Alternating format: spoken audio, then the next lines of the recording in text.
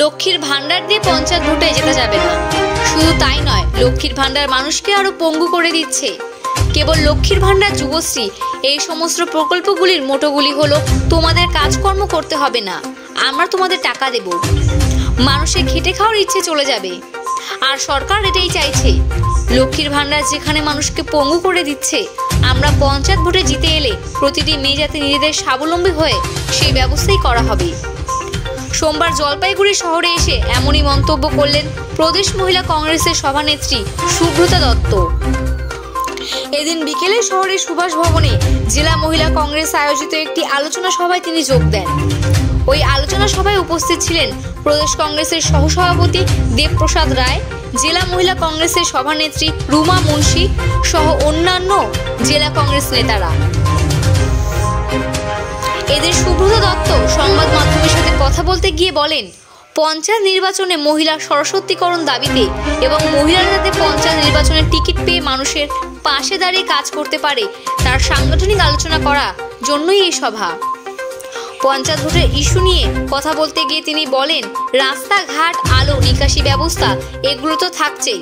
পাশাপাশি দেখা যাচ্ছে বহু জায়গাতেই কংগ্রেস কর্মী বা সমর্থকদের বিধবা ভাতা, বার্ধক্য ভাতা সহ একাধিক ভাতা থেকে বঞ্চিত রাখা হচ্ছে।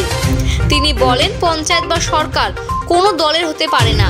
তারা সাধারণ মানুষের জন্যই নির্বাচনে জয়ী হয়েছে।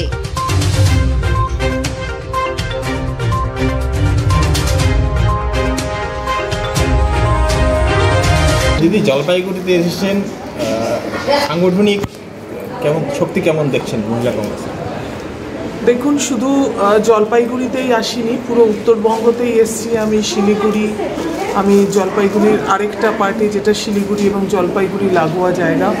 সেখানে কালকে আলিপুরদুয়ারে এবং কোচবিহারেও গিয়েছি, শুধুমাত্র একটাই আমাদের উদ্দেশ্য এবং একটাই কথা, যে পঞ্চায়েতে মহিলাদের সশক্তিকরণের দাবিতে এবং মহিলারা যাতে তাদের টিকিটটা সেখানে পেয়ে মানুষের জন্য মানুষের পাশে দাঁড়িয়ে কাজ করতে পারে এবং সেটার সাংগঠনিক আলোচনা করার জন্যই আমার আশা।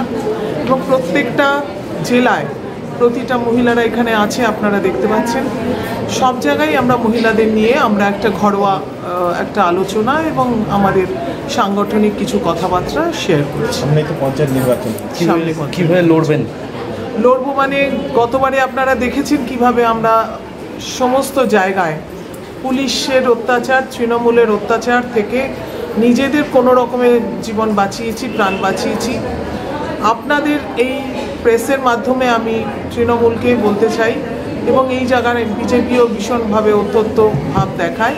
তাদেরকে বলতে চাই যে মানুষের সাথে থেকে মানুষের ভোটটা নেওয়ার চেষ্টা করুন। জোর জবরদস্তি করে তাদেরকে আটকাবেন না এবং বাহুবল দেখিয়ে আর ওই অস্ত্রশস্ত্র দিয়ে তাদেরকে রুখবেন না। কি কি ইস্যু থাকবে আপনাদের পঞ্চায়েত ভোট আমাদের অবশ্যই ইস্যু থাকবে যে আমরা রাস্তাঘাট জল কল যাতে মানুষের সুবিধে পায় এবং বহু জায়গায় আমি দেখতে পাচ্ছি যে বিধবা ভাতা বা তারপরে বার্ধক্য ভাতা কোনো কিছুই কোনো ভাতাই তারা পায় না কেন না তারা কংগ্রেসটা করে। কিন্তু পঞ্চায়েত বা সরকার কখনো দলের হতে পারে না। সেটা মানুষের।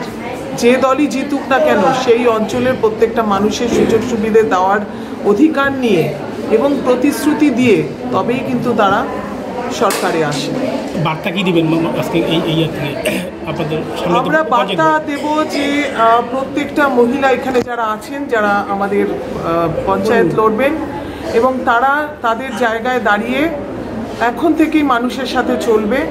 আর আমরা, আমাদের আরেকটা স্ত্রী বলে আমরা একটা এটা ইনগরেশন হয়েছে রাজীব গান্ধীর জন্মদিন টোয়েন্টি এইট অগস্ট তারপর থেকে আমরা ভারতবর্ষের প্রত্যেকটা রাজ্যে, প্রত্যেকটা জেলায় এটা আমরা করছি।